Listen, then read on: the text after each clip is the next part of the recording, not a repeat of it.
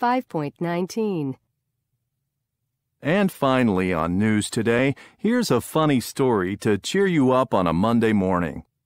On Saturday night, Katie Parfit, a nurse at a local hospital, came home from work. As soon as she opened the door, she realized that her cat Joey was behaving rather strangely. Instead of being happy to see her, he started attacking her. And then, when she sat down to have something to eat, Joey jumped onto the table and sat on her plate. Then he jumped down onto the floor and immediately went to sleep. He slept all night, snoring very loudly. Katie couldn't understand what the matter was with Joey. He had never behaved like this before.